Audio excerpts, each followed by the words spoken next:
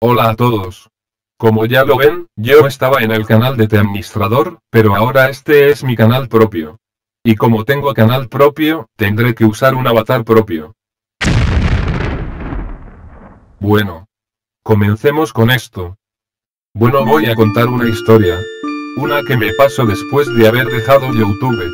Era un día cualquiera, fui a cambiar juegos de GameCube ya que me aburrí de jugar los mismos juegos una y otra vez, entonces vi que el lugar estaba cerrado por remodelación.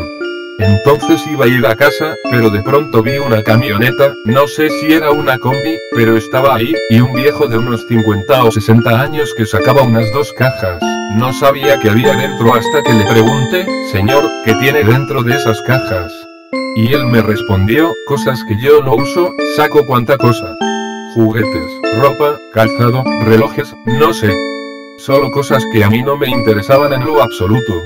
Entonces vi que sacó un juego de GameCube que no había jugado.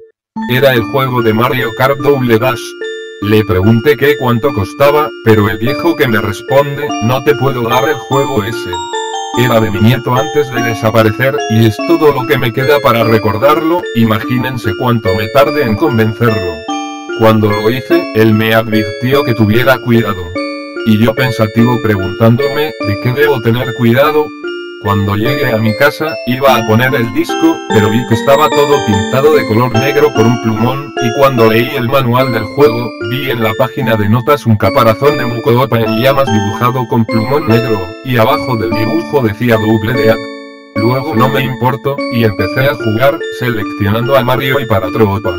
Dos semanas después pasé casi todo el juego, era las 12 de la noche y mis padres no estaban en casa, ellos fueron a Sonora para visitar a una tía que vivía ahí, y no volverían dentro de una semana.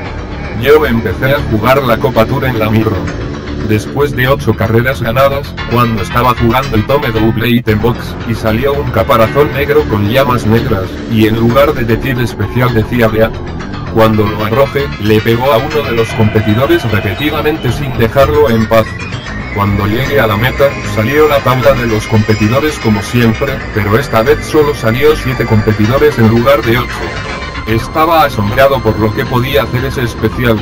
Y así seguí el resto de la copa eliminando a casi todos los competidores, lo cual me arrepiento. Lo más extraño es que cuando llegué a la pista camino del arco iris, Rainbow Road, pero en vez de eso, era un cementerio y se llamaba Camino sin salida, de Art Road. Pensé que era una nueva pista desbloqueada, pero no decía en ningún momento que se había desbloqueado. Como yo era el único competidor en el juego, empecé a conducir sin preocupación. Lo más raro era que vi del lado izquierdo que estaba la barra de posiciones de los competidores. Y dije, ¿qué demonios? Si yo los había eliminado a todos. Seguí conduciendo, hasta que de repente salieron los demás competidores por la tierra con aspecto pálido, a unos les colgaba un ojo, a otros les hacían falta partes del cuerpo como una pierna o un brazo mientras otros les salían las tripas por la boca. Dios. Era tan repugnante que quería vomitar con solo verlos. Me atacaron. Salía mucha sangre con cada golpe y rasguño que me daban. Y cada vez que salía sangre, el televisor se manchaba con la sangre misma. Y se manchaba más y más, que trate de salir de la partida, pero cuando aplaste pause solo me daba la selección de continuar. Entonces empecé a escuchar gritos de dolor y de desesperación como si fueran torturados cruelmente. Entonces traté de apagar o desconectar el GameCube, pero era inútil, no se podía apagar. Lo único que me quedó hacer era destrozar el GameCube.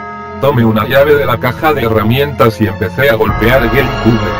Cuando lo hacía, una mano roja que estaba hecha de la misma sangre, me empujó muy fuerte al sofá, y eso me lastimó horriblemente. Con mis últimas fuerzas golpeé el GameCube, y lo rompí finalmente. Cuando lo hice, se escuchó un grito algo espectral, se escuchó tan fuerte que casi me reventaba los oídos, y luego me desmayé. Cuando desperté, me sentía débil, creo que tenía una o dos costillas rotas, sentía que volvería a desmayarme cuando respiraba. Entonces vi que unas marcas de sangre, diciendo lo siguiente. Maldito humano, me las pagarás, tendré tu alma, y te atormentaré por siempre. Cuando volvieron mis padres, me preguntaron por el GameCube, y yo les dije que me lo robaron, ya que si decía la verdad, me tomarían por loco. Siempre he tenido esas imágenes en mi mente que nunca podré borrar, y aún tengo pesadillas por ese juego que no dejaré de soñar. Era horrible, espantoso, no podía comparar este terror con nada. Cada vez que duermo, sueño que estaba jugando en esa pista, y las paredes se manchaban de sangre. Es. Es. Es. Espantoso.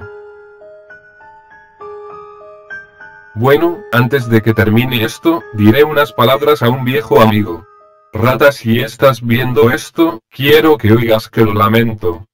Perdón por decir que tus proyectos son basura, que son estúpidas tus ideas y que no llegarían a nada. Sé que no merezco tu perdón, pero espero que seamos amigos por siempre. Como lo hemos sido en las buenas y en las malas. Solo espero que no me olvides.